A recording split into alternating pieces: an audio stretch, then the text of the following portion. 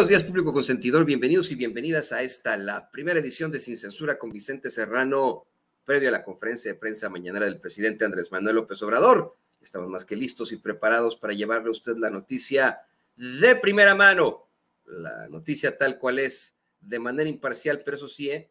con nuestros comentarios muy subjetivos. Y bueno, miren, ¿qué le parece que en lugar de sus comentarios subjetivos, que es lo que menos importa, vamos ahora, con mucho gusto, a la sección más importante de Sin Censura. Su voz, la voz del pueblo.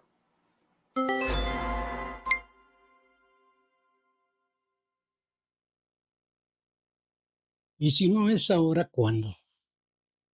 Amigas y amigos de Sin Censura, a todo el equipo de Sin Censura, muchas gracias por permitirme dirigirme a toda su amable audiencia con estas reflexiones que ahorita están de veras del cocol. La prédica de mi maestro Jesús, que lo tengo aquí como maestro y que no lo tengo constantemente crucificado, sino con la representación real que para mí significa del maestro, que legó una enseñanza muy humanista para todos los pueblos del mundo, pero que algunos pues piensan diferente y tienen todo su derecho. Él siempre dijo, sí, darle la mano al que necesita.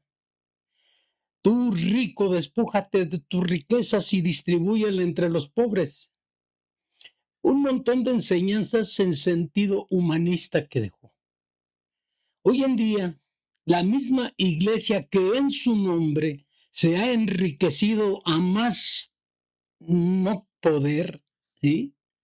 O a más no querer, está haciendo una campaña puerquísima denostando al gobierno de nuestro presidente Andrés Manuel López Obrador y que todos los ensotanados que a veces salen con sotana negra, a veces salen con sotana blanca, bueno, pues ellos sabrán por qué color, por qué hacen ese contraste de colores cuando que su real vestimenta es negra, de la oscuridad, y que están asustando al pueblo, diciéndoles que no voten por este gobierno o por el que viene, porque ya está visto que va a ser, porque se les van a quitar las propiedades, que van a asumir a México esos gobiernos o ese gobierno nuevo en una devastación tremenda de la cual no se va a levantar. Aquí cabe también hacer un pequeño de un, rescatar tantito de lo que la madre de la enseñanza de la vida nos muestra. Este, le tienen mucho miedo a la palabra comunista, cuando que mi maestro Jesús fue un comunista por antonomasia. La palabra comunismo hoy en día, pues es muy difícil de aplicarla a alguna sociedad, muy difícil porque llegar a un estado de comunismo como tal, uy, uy, uy, no se imaginan ustedes la grandiosidad que sería, ¿sí? Porque como su nombre lo dice, en común, todo, todo en común. No, pues hay mucha gente que no va a aceptar eso. ¿Por qué? Porque unos quieren estar más arriba, otros más en medio y otros hasta abajo, como es la gran mayoría.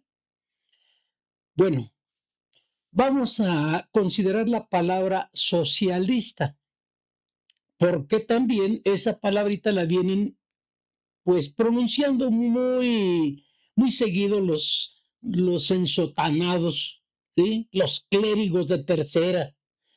Ay, el socialismo que nos va a acabar y que les van a quitar sus propiedades y que nos van a devastar como país y que toda la riqueza de nuestro país se va a ir a donde anteriormente se iban o a que toda la riqueza de nuestro país quedara en la bolsa de unos cuantos.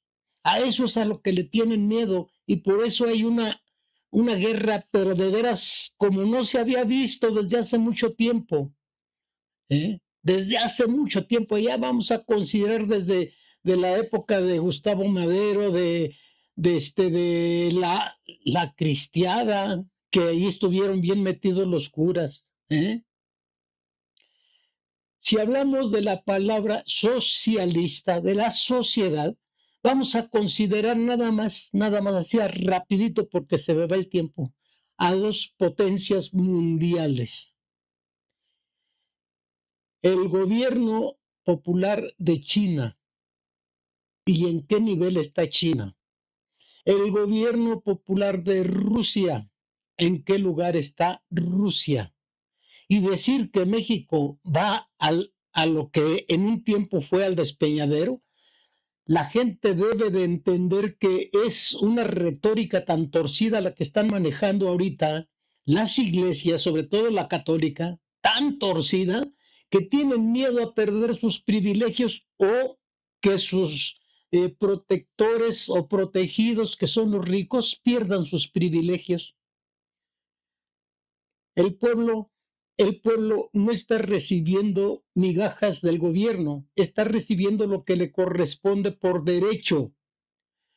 Los apoyos asistenciales que da el gobierno, ¿sí? todos los programas que tiene, es de los recursos del mismo pueblo y que al mismo pueblo se los regresan. Infórmense de países muy avanzados y cómo a cierta edad a las personas que ya se retiran del trabajo les llega una, una aportación por parte del gobierno. Y ahí no se dice nada. Amigas, amigos, me estoy pasando de tiempo y no quiero que vaya a ser causa de que luego no se pase este, esta pequeña capsulita. Luego le seguiremos más adelante. Por lo pronto, ahí dejo la capsulita y ahí los dejo a ustedes. Hasta luego. No, al contrario, no, no pasaría nada, ¿eh? no, no, no, hay posibilidad de que no pasemos la cápsula del buen Sergio Valcalván aquí en Sin Censura. Y mire, eh, no sé qué pasa ahí, pero yo tengo que está todo aquí para mí desafortunadamente bloqueado, ya, ya se desbloqueó, pero bueno, aquí estamos con mucho gusto llevándole a usted la noticia de primera mano, la noticia tal cual es. Le digo a Sergio, no se preocupe, de verdad. No, de ninguna forma lo censuraríamos ni bloquearíamos, aunque tardara un poco más. Solo se recomienda que los, las voces del pueblo no sean mayores a cinco minutos para que todo el mundo pueda participar. Y mire, hoy, si no me equivoco, tenemos 11, a ver si nos pueden salir los 11, las 11 voces del pueblo. Y va a ser, bueno, pues fantástico eso. Eh, y bueno, pues ahí andamos con mucho gusto. Le pido el